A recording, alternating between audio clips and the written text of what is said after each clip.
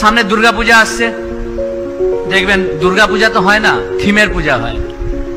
কে কত ভালো থিম বানাতে পারে, কে কত ভালো প্যান্ডেল বানাতে পারে, কত কোটি টাকা খরচা করতে পারে, তার উপরে অ্যাওয়ার্ড দেওয়া হয়। কিন্তু এটা অ্যাওয়ার্ড দেওয়া হয় না, কে কত রিচুয়ালি পূজা করতে পারে, কত শাস্ত্র মেনে, কত সুন্দর উপ, উপাচার দিয়ে দুর্গা দেবীর পূজা হয়, সেটার উপরে কোনো কম্পিটিশন নেই।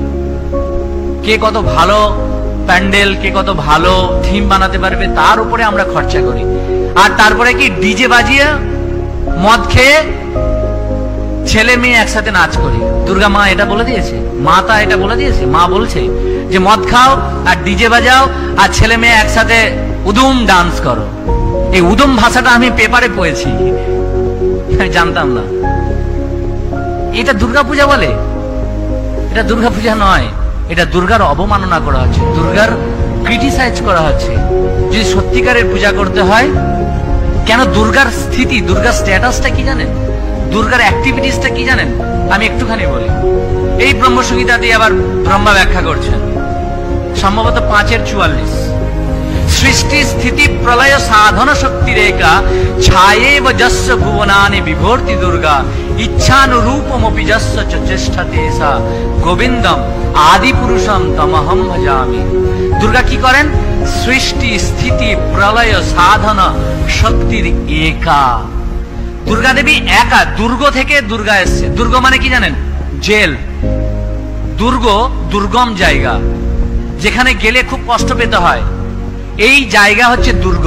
আমরা যেখানে বাস করি, এটাকে দুর্গ বলা হয়। এটা দুর্খালয় মশাসনম। এই দুর্গতে কেবলমাত্র দুঃখ এখানে সুখ পাওয়া যায় না। এই দুর্গের যে জেলার যেমন জেলের জেলারকে কি বলা হয়? জেলার বলা হয়। যে জেলটাকে দেখাশোনা করে, সেরকম এই দুর্গের যিনি দেখাশোনা করেন, তার নাম হচ্ছে দুর্গা।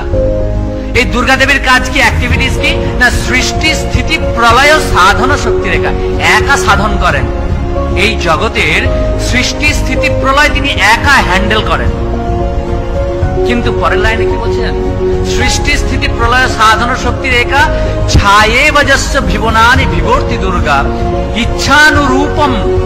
ইচ্ছা অনুরূপম। যস্য, চ চেষ্টাতে সা দুর্গা দেবী কি করেন? ইচ্ছা অনুরূপম, যার ইচ্ছা অনুসারে। কার ইচ্ছা অনুসারে? ব্রহ্মা বলছেন পরের লাইনে, গোবিন্দম। গোবিন্দের ইচ্ছা অনুসারে, ভগবান কৃষ্ণের ইচ্ছা অনুসারে দুর্গা দেবী সৃষ্টি স্থিতি প্রলয় সাধন শক্তি রেখা নিজের ইচ্ছাতে করেন না। তাহলে আমরা দুর্গা দেবী দেখলাম কৃষ্ণের ইচ্ছাতে সমস্ত কিছু সৃষ্টি স্থিতি পালন করছেন।